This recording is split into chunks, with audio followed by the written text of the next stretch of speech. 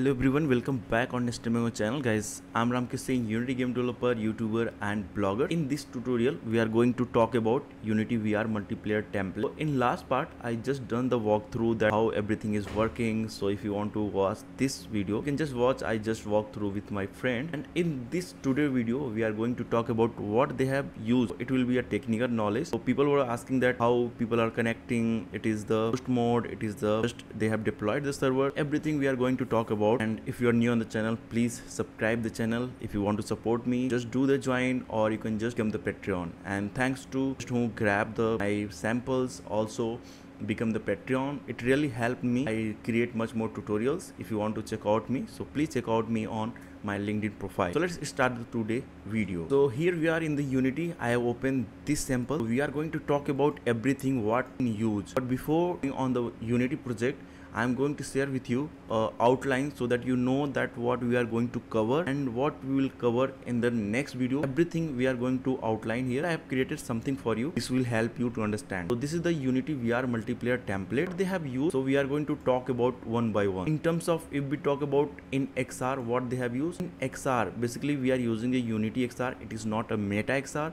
so in Unity XR what it comes?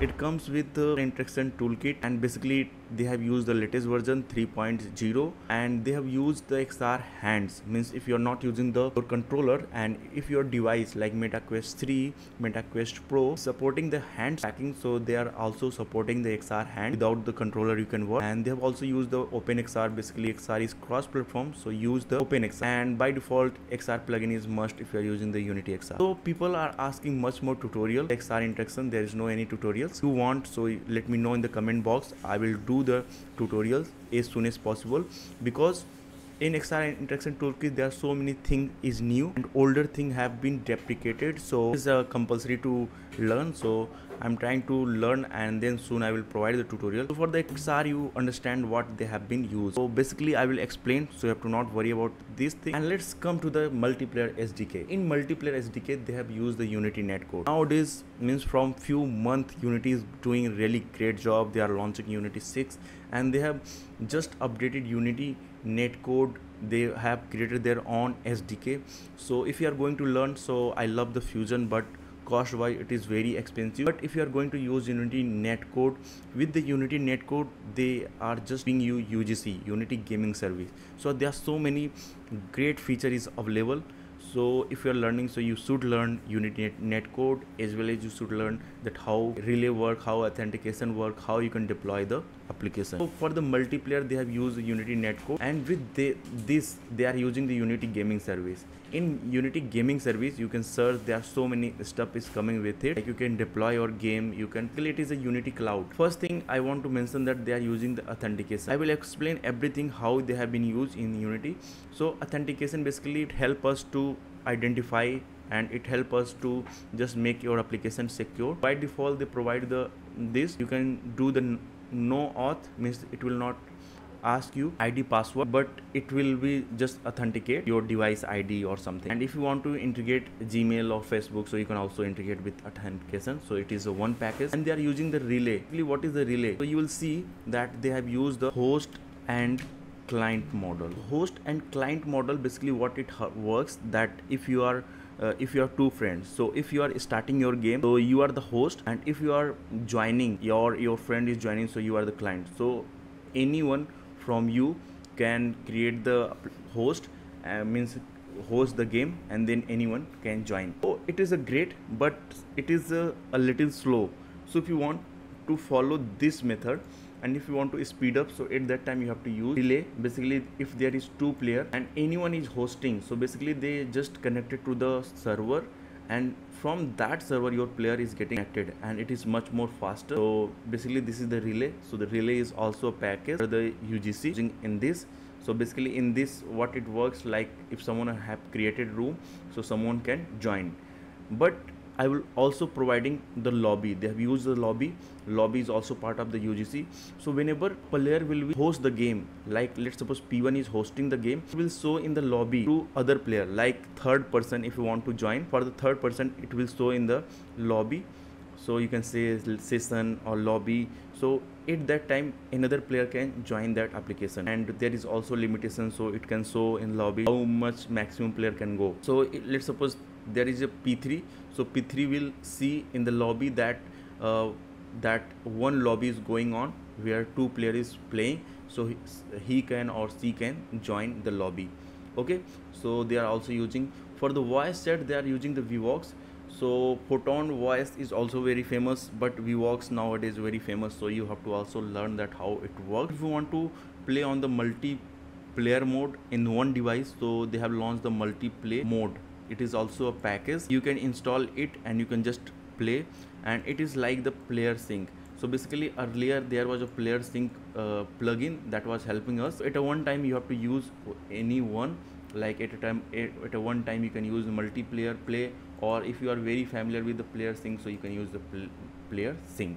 Okay great. So this is the thing they have used in application. So let me go in unity and let me walk through that what they have been using here in the quick way so that i think you have brief idea that what is happening what is going on in here. What are the script they have used is the unity xr so here you can see basically you are already familiar with this. A few thing is new. So in next video i will share with you that how updated unity xr interaction toolkit works. So i want to i don't want to take your much more time but if you are xr developer so you are aware about xr origin so basically it is our player.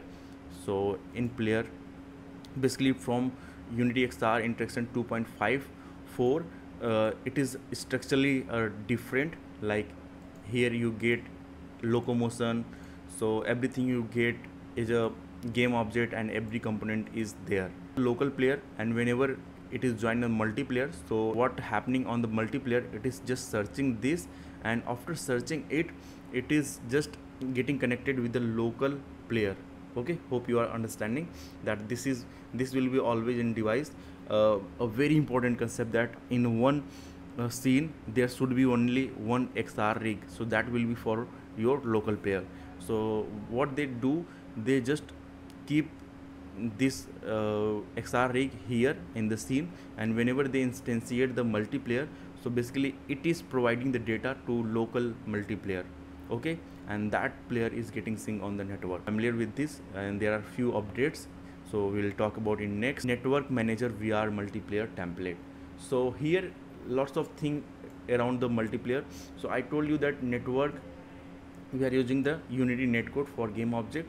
So here you can see that uh, basically whenever you want to create the multiplayer so you have to add this component network manager vr so basically they have customized the name. You can use the network manager. So there is no any issue if you are starting with it.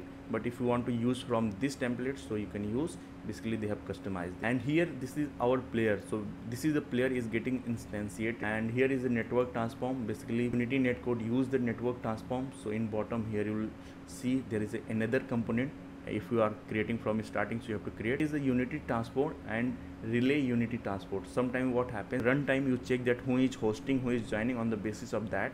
You choose uh, from this. Currently it is unity transport so there is no any issue. In the code you will see that how they are accessing this. Important thing is that here we are providing our player reference. And what are we are creating at a runtime. So here is the prefab that is the network prefab list. And nothing we have to change here. This is for the netcode and if we are coming like XRI network game manager. So whatever we talk about like lobby or authentication so here is getting happening. So as I told you I will come to the player so don't worry about it. So whenever we want to create any network object so at that time we have to add. If you are following my tutorial from the fusion 2 so fusion 2 and network object is you can say almost 50% common. Concept is also same and some component is also same like network object we are using in the fusion also. So here they are also using network object network manager. So this thing is related to lobby to join the lobby. Okay? Great.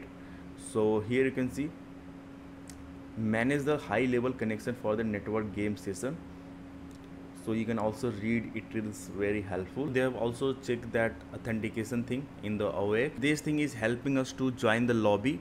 And in if you work on the Photon so there was some room list. So in network object basically they are showing the session list. And in session if you are going to join so if it is getting joined or if it is getting uh, disconnected. All the stuff is getting managed here. You can see disconnect a async and lobby manager. You can see they have used directly to just join the lobby. So you can see quick join lobby. Okay if there is any uh, here is the method. You can see quick join lobby. Quick join function will try to find any lobbies by quick join async. If there will be any lobby so sometimes what it does it create the lobby? You can also share the room code. So everything is basic concept. You can explore the code. You will understand that how it is. The authentication manager. Like i told you that authentication is getting used. So for this they have used this script. That is the authentication manager. So basically whenever our application is getting start so it get authenticated in starting. After authentication it start working. Here you can see if it is not authorized so at that time signing anonymously basically it does not require email id passwords here is the Vivox chat so basically this is the important thing. And let's come to the player. So here we have the player. So let's come to the player. So for the player here we have the player. So just open this player. And here you will see what's happening that they have the player. Like here you can see we are also see the player. So what happening? That whatever you will choose it will be customized when when he will join. So it will be turned off like whatever it is getting used. So every component for the mesh it will be turned off. And what it will come? So it will come like it will be get enabled. So here they have used the network object like whatever you want to sync. Xri network player. So basically these are the thing for just sync on the network. So they have used left right hand. So these are the thing. Of our visuals. So basically it is getting transferred. So this thing is managing like how it will be color how it will be this color. So everything is getting managed like uh, in multiplayer. On the metaverse application we use the customize the colors or class wardrobe items. So this kind of script is managing the how it will be look or how it will be. Xr avatar ik so they have also used the ik and here they have used the hands as well as head. So for this they have created the icon if you are going to create the full body avatar so at that time you have to customize. So in the future maybe we work on it that how it works. Final ik or unity XR we will check at that time which is perfect for or which is much more people are asking. Okay? And this is for xr hand pose replicator so basically they are using uh, like there will be animation some animation on the hand. So at that time they are using this thing. And here is the head like for oculus. So whatever we want to sync on the network.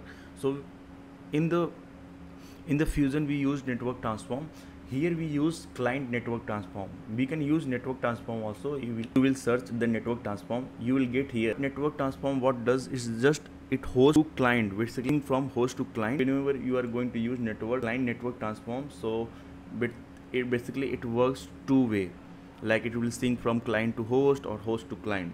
So basically it is the custom script uh, basically they have made to give the authority to the client. And this is for canvas for player this is the left so everything whatever you want to sync uh, we are using the client network transform. So it is a great in the net code in the fusion they have not provide global keyboard. So they are using the global keyboard from updated xr interaction toolkit. So it is also really great. In the my gameplay we'll see there are lots of object we are using to just move from one place to another place. So this is the we are going going to use on the network object. Whenever we are going to use so everything is on this hierarchy. Anti-gravity zone we can use this script network object destroyer pooler so you can explore but important thing is like here is a battery. All this thing is come with the runtime. Basically i'm explaining that how network grab object is getting working. So basically this is the basic setup like how it will work. Here they have used the network object like it will be there and client network transform so it is also getting used. And here network physics interactable is also getting used because at the same time if two player is getting used to this. At that time it will, it will help us to just bring the ownership. So network physics interactable is helping us to change the ownership. By default if you are going to touch so it will be your ownership but someone will touch before you so it will transfer the ownership. And here is the ui thing like whatever we are creating the room so whenever you will see here so everything is looking here you have to give the name and player color and then your lobby will be so here so you can join any lobby or you can just create your own. So that's it for today tutorial and hope you enjoy hope you learn something. Just for climbing or grabbing anything so basic these are the basic thing you have to just explore that how they are doing. But hope you understand hope you enjoy this tutorial. So thanks for watching. Have a good day. And please like the video. Your like really inspire me as well as youtube also like your like. So thanks for watching. See you in next video. Don't forget to like and share. Please support me on my patreon page or join or check out me on my linkedin profile. So bye bye take care. See you in next video